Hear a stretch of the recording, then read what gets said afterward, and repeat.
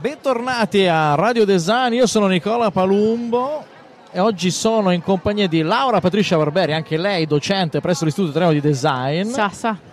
Sasà, giusto? Stiamo facendo le prove Sasà. Esatto. Siamo in compagnia di Giulia Ceccarani. Giulia Sasa. Ceccarani di Detta Holly. Sasa. Di- Adesso ti vedi finalmente. Esatto. detta Sasà di Hollywood. Hollywood, che non è Hollywood, ma è una cosa molto simile. Hollywood.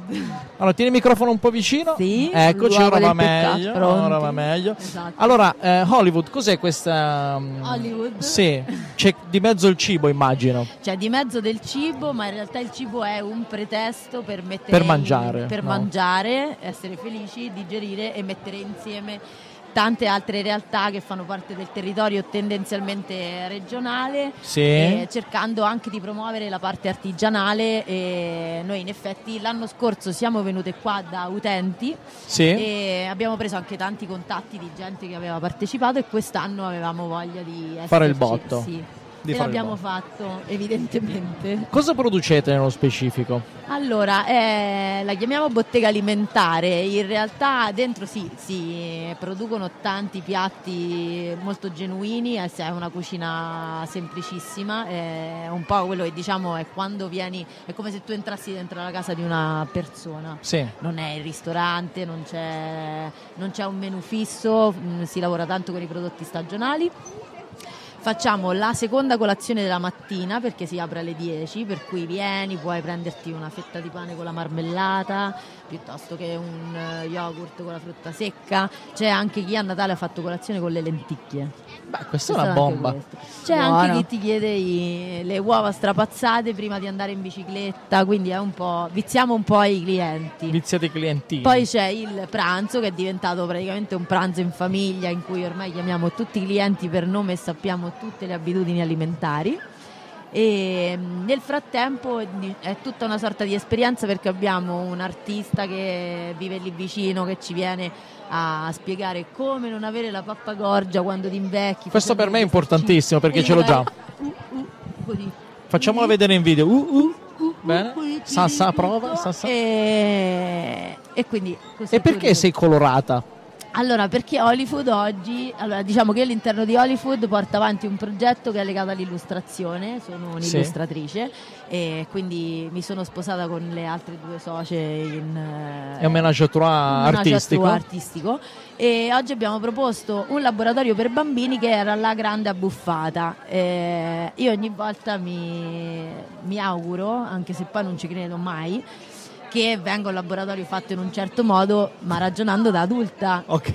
E quindi la grande abbuffata trattava di apparecchiare disegnando una tavola perché sarebbero arrivate le- delle persone a cena. Sì. In realtà è diventato un pitturiamoci tutti addosso e facciamo casino.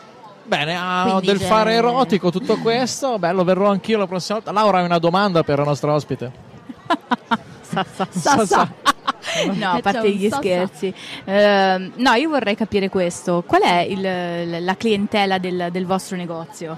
Allora, è una, è una bellissima clientela, non per eh, fare marchette alla clientela stessa, nel senso che è una clientela diversa. Ehm, prima di tutto è stato difficile spiegare il concetto di un locale che un po' è un ibrido, quindi all'inizio sono tutti un po' titubanti, guardano da fuori, un po' perché abbiamo, eh, le due ragazze sono state bravissime ad, ad arredarlo e quindi lavora tanto sulla memoria perché ci sono i vecchi tavoli in formica, quindi siamo riusciti a prendere anche quella clientela, soprattutto anche donne, che non era stata minimamente considerata nella città e Ok. quindi è una clientela molto silenziosa che però rimane nel tempo, cioè non è stato un oddio è la cosa nuova, che figata e poi è, diciamo, è morta come novità, è una cosa che viene scoperta tutti i giorni. Eh, quindi infatti la- l'altra domanda che ti avrei voluto fare era proprio Sì. questa, cioè come pensate di alimentare poi alla fine questo format, no? che è un format Sì. contenitore, Sì. però come dici tu se non, vuole, cioè, se non viene vivacizzato continuamente poi No, rischia esatto. effettivamente di, eh, di declinare.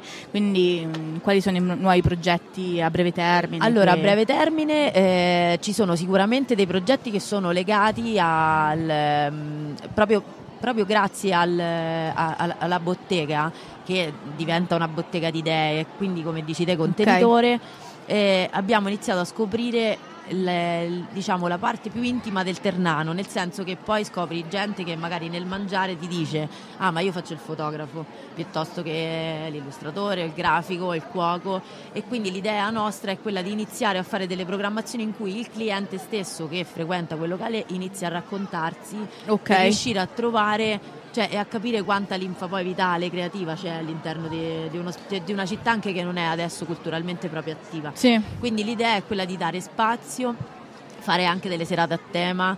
Siamo diventati anche una sorta di temporaneo cinema perché abbiamo proiettato sulla mia pelle di Netflix l'altra sera, quindi c'è stata una sorta Bomba. di proiezione. Sì. Sì. Bello.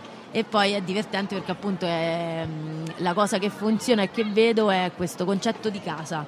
Cioè Ok. tu vai là e sappiamo i problemi di tutti, le gioie e i dolori dei clienti le sappiamo tutti e quindi siamo anche un po' psicologhe nonostante ne avremmo bisogno Quindi anche noi. tipo una sorta di Eh, circolo letterario di sì, oggi, sì, insomma, esatto. no? Contemporaneo. anche un po' l'idea di entrare, ci piace il fatto di essere qua per vedere come funzionano le esperienze da, da fuori e cercare anche in qualche modo di una collaborazione, perché poi vedi che le cose quando sono fatte bene uno ci crede funzionano. Sì. E Abbiamo dei link di esempio. riferimento.